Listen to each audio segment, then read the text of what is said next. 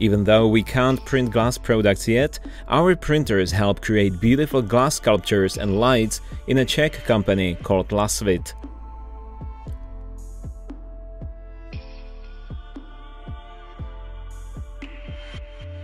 My name is uh, Aleš Stýblo. I'm uh, the group uh, general manager of uh, Lasvit.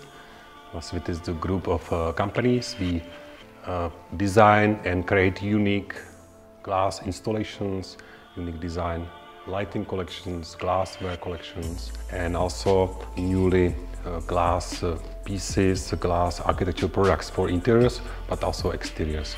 We like to use the traditional glass technologies, for example, handblown glass, cast glass, fused glass, and apply it in a new way in terms of uh, finding new design, combine it with uh, high-end uh, technologies a good example where we used uh, 3D printing uh, was uh, Project uh, Galaxy Casino in Macau, where our designers designed unique uh, glass components and uh, by using 3D printing we printed for our glass blowers the shapes of the components.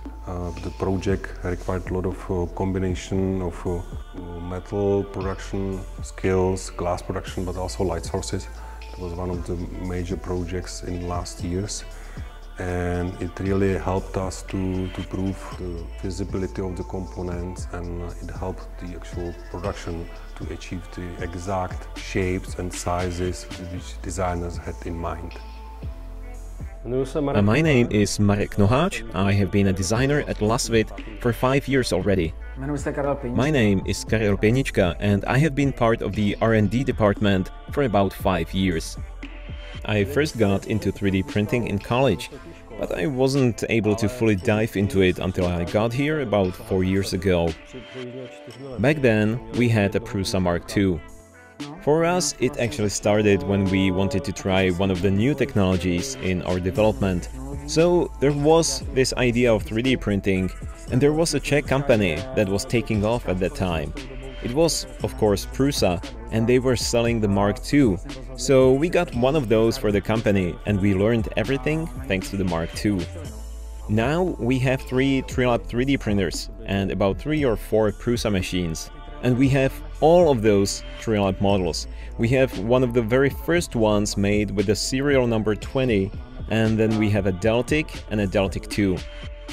On the Prusa machines, we prefer to print, uh, let's say, things that are low and flat, because they don't fit on the Trilab build plate. And in a similar manner, we use uh, Trilab printers for taller items which don't fit in the build volume of Prusa machines. But every project is different and requires a different approach. So when we are making some things for workshops or various projects, we often use Prusa printers and stack all the parts on one build plate it has the same quality everywhere. If the parts are not too complex, we just put them on there and go. It's more comfortable for us and also the printed objects are really easy to take off. And Trilab machines are really great for prototyping and we use them for larger parts. Today we can't imagine working without 3D printing because it has advantages everywhere we use it. When the designers start with the initial designs of various glass shapes, they can print them and touch them and see them we also use 3D printing for different folded assemblies, various sheets or brackets, and prototyping in general. Let's say we need maybe three or four versions of a certain part, and that's something that can be printed easily. And because 3D printing is quite fast, it can be finished overnight, so we can fine-tune everything by using 3D printers, and then we go straight into production with a final product that we know is already tuned to perfection. This saves us time in production and lowers the volume of scrap. Exactly, that's the most important thing. Before we had 3D printers, we used to make maybe hundreds of pieces that were ultimately thrown away because we simply couldn't verify everything with only one copy. That's why 3D printers are really great. It takes only a couple of hours and we know whether the part we've designed can be used immediately or if some changes are required. This saves money and time in production. We are trying to slowly transition to a scenario in which we use 3D printed parts in most of our projects. But there are still some challenges, because most of our components that are visible have to be polished stainless steel, they need to have a gloss, a shine, and they have to look nice. And 3D printing, especially FDM, still has visible layers, so the technology still isn't where we would like it to be. When we use a visible part that's on a fixture, it has to be placed very high up, so that you can't see that it's plastic.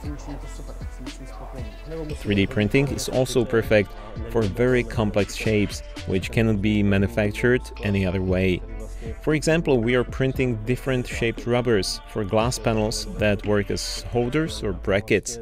It's a new prototype we are testing, and there's no way other than 3D printing to make a part like that. Yeah, that's exactly where it saved us the most money, all the rubber stuff.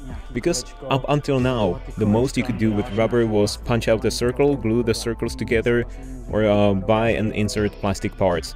There were too many problems. Today we can create complex shapes, fill the space between the glass and the metal to keep it from touching and the glass from cracking. I think 3D printing still has some shortcomings that need to be addressed in the future, but right now it's a very promising technology.